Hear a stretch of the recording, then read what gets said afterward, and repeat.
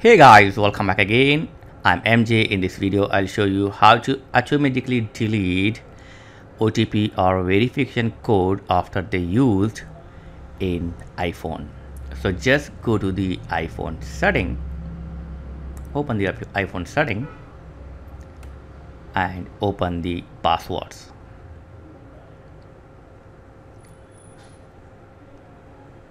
It will ask the verification allow it and then tap on password option. Here toggle on delete after use. Okay? So toggle on or turn on the delete after use. Here it's clearly mentioned automatically delete verification codes in message and mail after they are used. Okay? So turn on it. From now your otps and verification code messages will be deleted after they used okay? They not delete immediately but some time after some time it will delete but after they used only then only they will delete okay?